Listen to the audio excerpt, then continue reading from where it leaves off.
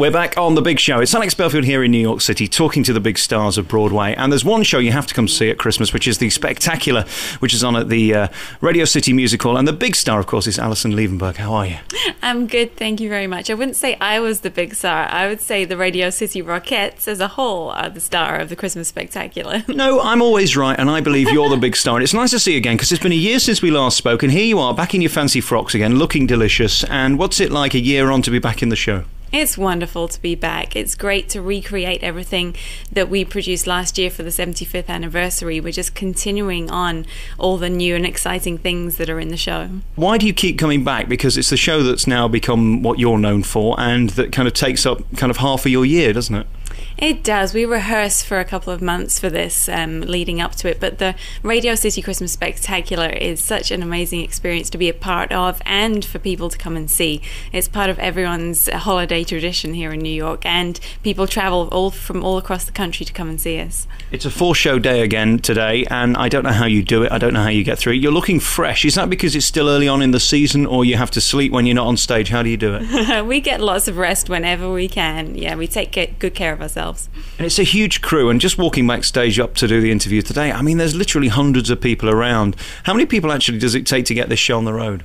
I'm not entirely sure exactly, but I can tell you that the backstage choreography is just as intricate as everything that happens on stage. Everything is very carefully coordinated, and it really takes an army to get this show on the, uh, up and running. So we spoke about this time last year. Then what happened? You did another couple of months in this, and then you went to Oh, I did a brand new show in Houston, Texas this summer, which was amazing. It was good to be, you know, do some musical theater. I like to do other things, you know, other performance things on the side.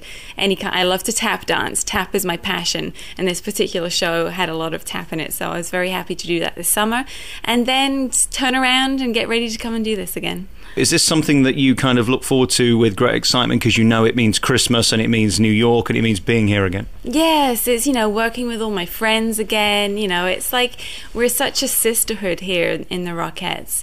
It's definitely something we all look forward to coming back to every year. And is it mostly the same crew?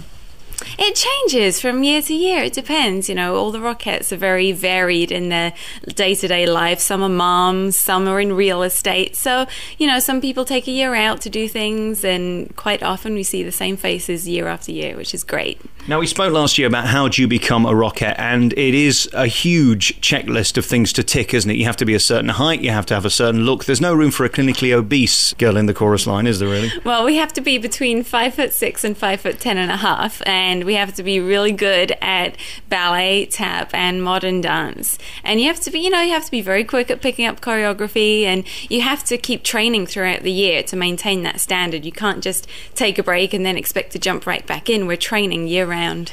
And you love Christmas? Because this is a Christmas show. From the minute it opens to the minute it ends, it's about the magic of Christmas and bringing that alive for the kids and the families as well. It's funny. You think you would get tired of it, but I don't. You look out into the audience and you see people's faces. I mean, just this morning I visited a school. Um, where they'd had a competition for kids. They'd written an essay and they won tickets to come and see the show. And to go, get to go out and visit those children and just see the joy that it brought to them, that makes it all worthwhile. And you really are one of the old fashioned showbiz lot here that every show has to be your first because people paying good money to come and see it and they need the show as if it was your first time you'd ever done it and as if you loved it as much. That's hard, isn't it, when you're doing show after show, four shows a day? By the end of the week, you literally must be exhausted. It is hard to keep up the standard, but that's what we're known for. Every show we take on a fresh approach. You know, we know that these people have paid to come and see us and we want to give them as good a show as we can every single time. And how does the show change year on year? Do they tweak it? Because I know last year was a very special year. Do they change it every year, or there's certain things that are different?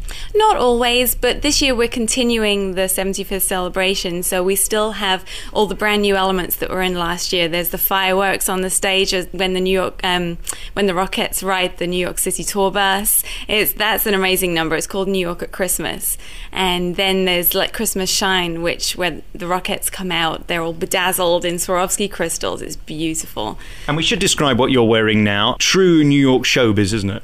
Yes, what I'm wearing has a big white fur collar and it's red velvet. It's, you know, very, the very epitome of a New York Christmas Rockette outfit.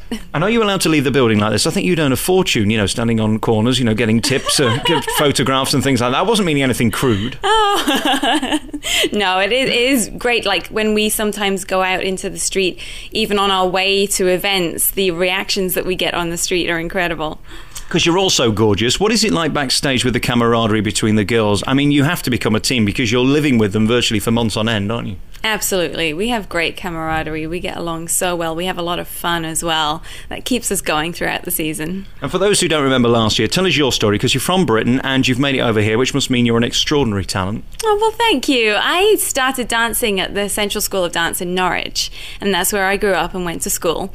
And then my it was my second professional job that brought me over to the States. It was a touring show.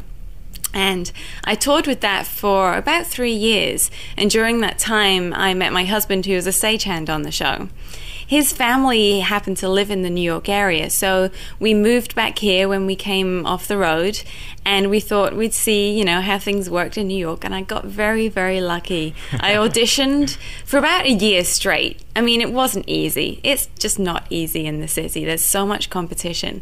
And then I got my break in the show 42nd Street on Broadway and that was that was that was a dream come true. And then this happened, and to you know be a part of the Radio City Christmas Spectacular is, is just an honor for a Brit to be part of such an American tradition. Well, it really is because on two levels. One, because they've got the pick of the crop, haven't they? They've got 250 million people to drag from, and they're going to find a great talent there. And then to take somebody from out of the states, they've got to have a good reason to do that. Yeah, well, I think being a rockette, I mean there are so many attributes. You have to have the precision and the ability to pick up choreography very quickly. It's, it's definitely a special talent you have to have to be a part of, of the Radio City Rockettes. And I'm sure most people have seen it on the internet or seen the posters, but you all literally stand in a line, and you're very famous for those line scenes where you have to do the choreography together and the kicks and all of that.